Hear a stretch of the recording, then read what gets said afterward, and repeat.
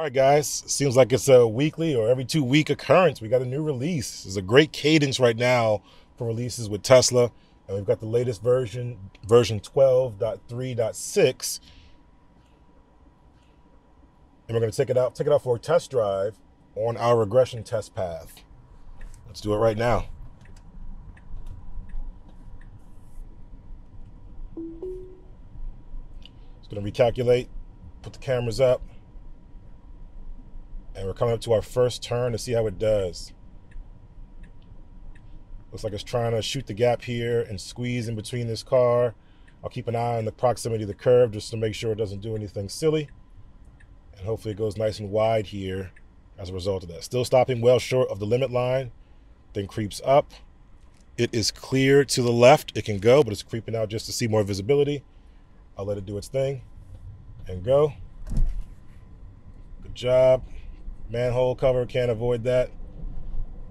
But good job. Good job on turn one. A little bit different because the approach angle was different because it tried to shoot the gap there, but still effectively the same cautious, you know, uh, competent turn. Coming up on our second turn here, let's see what happens, see if there's any regressions, if it tries to drift into the bike lane or makes the proper turn like it normally does in the last two builds. Slows down nicely. Good job, good mile an hour, above 10 miles an hour, good proximity to the curb, good to go. All good on turn two. Winding road. Good job. Turn signal is still on, can't get around that. Still stays close to that as well, still close here, right? Same thing. Uh, I'll flag it just for consistency, but effectively, uh, it's the same thing every time. No changes, which is great. Again, if it's not getting it better, just make sure it doesn't get worse. So it's pretty consistent in that regard. Good job on this turn. Car coming. Good job going around it. Excellent job. Piece of cake. Easy peasy stuff for you, Tesla FSD.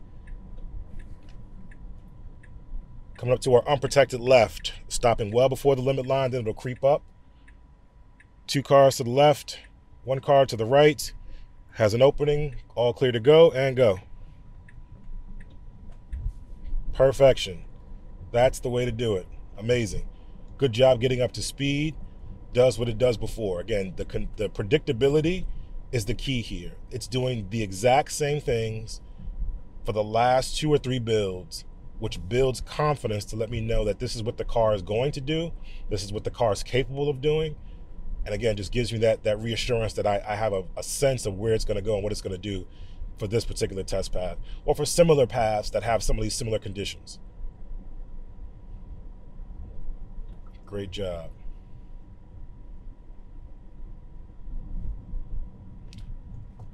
Slows down nicely, doesn't try to go around this person, even though it can, even though it's thinking about it. It can go that way, but it shouldn't go that way over the uh, double yellow, which is what it wanted to do for the bus the last time. Thought about it at least, so I'm not going to judge it based on his intentions. I'm going to judge it based on his actions. Good job, good mile an hour. No one's around, so it kind of hovers more towards the limit, uh, the speed limit. Good job slowing down at the last minute. Light turned at an awkward angle, at an awkward time, meaning that uh, it was kind of still proceeding forward. Then it turned yellow, then red. No big deal. Seems like it's still using friction braking, but I'll get a better sense once we go past these lights down here.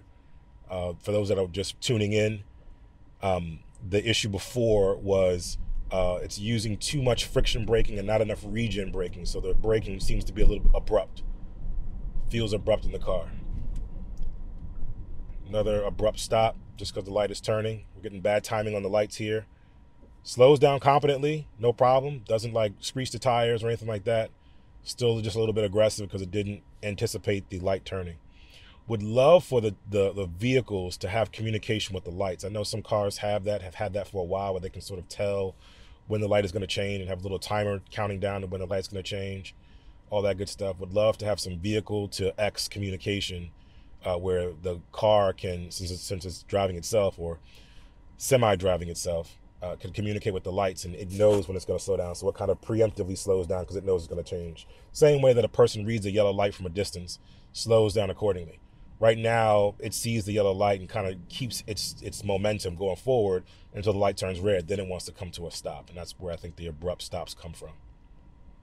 Uh, so just to make it better than a human, it would have communication with the lights where it can sort of read when the lights are going to change, have that predictability for the car so it can slow down and prepare you accordingly, uh, just to make it that much better, that much safer. Green light. Good job accelerating.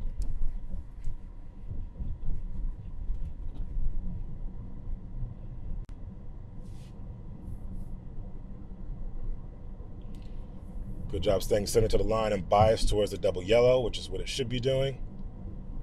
It's great. Great anticipation of the cars that are coming up here and biasing towards the double yellow, which is what it should be doing.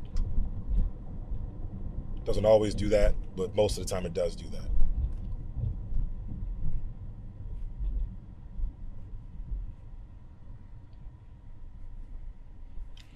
Um, also on this build, we got uh, the Vision Auto Park. I'm going to do a separate video for that where I compare and contrast the regular Auto Park to the Vision only Auto Park to see how it, how it compares. I'll do a separate video on that, but it's pretty cool that we've included that with this update, even though it's not on the main, main branch of all the latest and greatest features.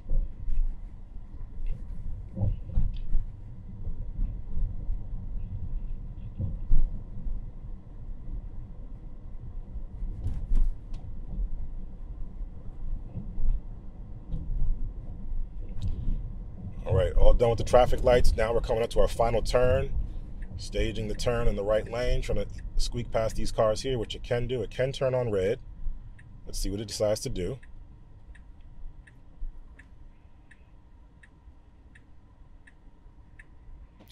Inches up, creeps up. It's going to go for it. Great job. Great distance from the curb. Excellent job. Ooh, person there. Ooh that person, it kind of slowed down at the last minute. It was kind of a blind angle. It caught it at a weird angle where I think the cameras couldn't see her behind the car, but it did slow down. And let's see what it does here. Coming up to our destination, the pin is a little bit weird from, from a map data perspective. Kind of pulls over here. I'm gonna stop it here and make the turn kind of wanted to pull in front of it. Last time it turned down the street. So the pin is a little bit weird from a map data perspective. I'm okay with that. I would have taken over anyway. I don't expect it to, you know, valet me right now uh, and then go be banished, if you will. Uh, but that was pretty good. All right. Uh, pretty good drive, pretty straightforward, meant to be simple, meant to be uh, consistent, and meant to be able to measure in detail the difference between each individual build from 12.3.4, 12.3.5, 12.3.6, so on and so forth, being able to see exactly what's changed. So based on that, the drive was pretty good. Overall, from a comfort perspective, I'm going to give it a nine, back in the nines. Extremely comfortable, even when it kind of slowed down for that pedestrian at the last minute. It was a little awkward just because that person wasn't walking across the street and almost got hit, but it started to proceed again with that momentum of thinking that the car was going to keep going and it could sort of that person could keep walking and not be interrupted with their walk when they time it right. That's what people typically do in this area. So it was not nothing wrong with it, but the car did kind of slow down in a reactive moment to say, hey, there's a person there. Should I stop? Should I not stop? Wasn't uncomfortable though. So from a comfort perspective, again, nine there. In terms of confidence, did everything with excellent confidence. I'm going to give it a nine as well. Uh, in terms of decision making, right? Made great decisions all around the board. Uh, I'm going to give it a nine as well. And then in terms of safety, felt super safe. Didn't do anything wrong that made me feel uncomfortable or unsafe uh, didn't complete c- commit any unsafe maneuvers. And again, that pedestrian situation was a little bit different. That person just kept walking behind that car and kind of wanted to time their walk. So I'm not going to harp on that too much. So decisions and safety, they're also going to get nine. So safety's a nine. So nines across the board. Once again, still a high value uh, uh, build right now. No major regressions for this path. And the, the score is based on this drive and it's completely subjective. Uh, we'll do more drives, see what happens, check out some of the drives that we did where it got lower scores, uh, and see how it fares there with that one, and see you know from there. But our next video is going to be about auto park, so stay tuned for that one. Let me know in the comments what you thought about this drive. If you have this build, what do you think about this build? Is it better than uh, 12.3.5, or is it the same? Uh, let me know your thoughts in the comments. And until next time, enjoy your day, enjoy your Tesla.